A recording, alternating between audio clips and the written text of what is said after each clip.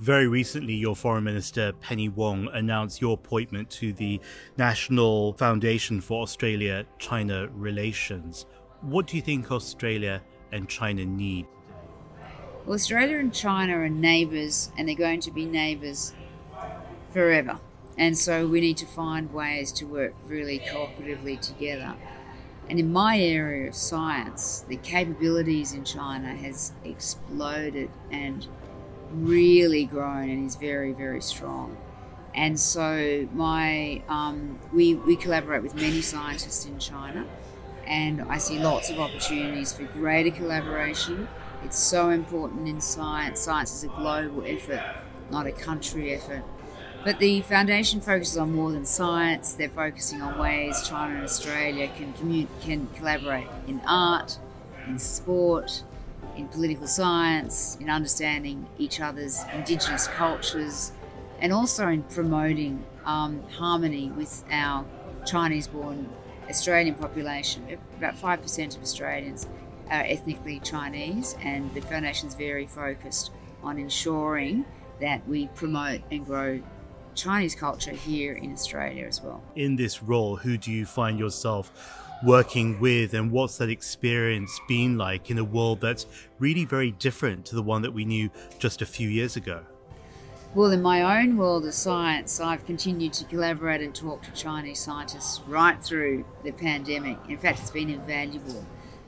Every week, I would have a call with colleagues in Hong Kong, Beijing, and New York right through the pandemic, and it allowed me to learn what was happening in their countries, learn what was happening in their laboratories and in their network. Those relationships are incredibly important in science. And scientific collaboration relies on trust, and you can't build trust overnight. And it's really hard to build trust in the middle of a crisis. So these relationships that I have with many scientists across China go back 20, 25 years. And I think the more we can grow those sorts of trusted partnerships, it will enhance all of the work that we're trying to do. On your appointment, you talked about the real value of established, trusted partnerships. What if you're in a crisis, but you don't have 25 years of relationships to lean on? What do you do then? How do you lay the building blocks for trust in that emergency? Yeah, it's a much harder situation. Uh, um, but of course, it still happened because the other side of a crisis is a common enemy and a real pressure of speed. So I think it can happen in a crisis. It's just a little harder, especially when there's no travel, where you're living in different countries. But in, um, in when you live in a different country, it's a little bit more complex.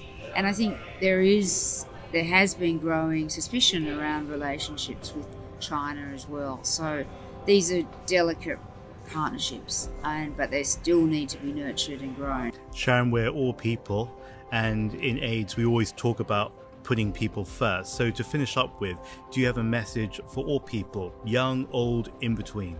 Well, my message is for people living with HIV. What an extraordinary journey this has been, both for me as a scientist and for people living with HIV. But I see so many incredibly exciting advances right now.